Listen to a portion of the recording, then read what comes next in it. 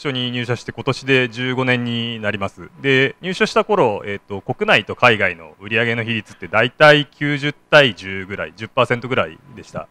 でその10%もほとんどは、えーと、ハードウェアを売る何かを売って終わりの仕事がほとんどだったんですね。でそれが、えーと、去年で、えー、と7対370対30になりました。で、えー、と5年後ぐらいにはこれを50対50に持ってきたいと,、えー、と上層部は考えてるそうです。で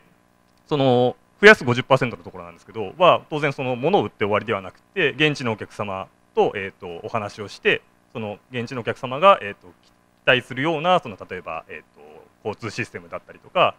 電力システムとかを、えー、と納品するっていう仕事になります。なので当然その英語ですとか、まあ、場合によっては現地の言葉でコミュニケーションを取る必要があってなので、えっと、社員として求められているスキルも昔はあの英語ができればあの結構褒められたんですけどもう結構英語が当たり前になりつつあってですね。でその開発の仕事で例えば技術者をちょっと探してるっていう条件になった時に日本語が喋れる、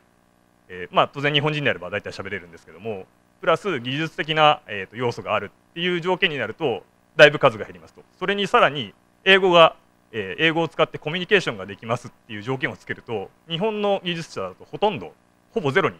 近くなってしまいます。さらにそこにプラスアルファとして技術者として海外で生活しても構わないっていう条件をつけるとほぼほぼゼロです。あので僕も、えっと、今、えっと、研修という形でインドに生活させてもらってますけども、えっと、英語のレベルとしてはかなり微妙なレベルでいつもあんたらさんにお世話になってるんですけどもなので、えっと、インドの方はもちろんその今日本語勉強されてる方は英語はできると思いますし日本語もある程度のレベルでできると思います。プラス1つ2つ強みがないと,、えっと日本の企業でその、